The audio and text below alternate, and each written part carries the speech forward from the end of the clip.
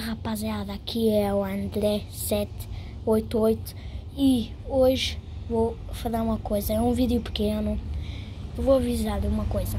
Vou fazer um vídeo hoje de 5 minutos ou de 10 e depois do meio-dia de pause e despause, porque eu nunca fiz isso. Então, foi esse o vídeo que eu queria falar Eu sei. Então, foi.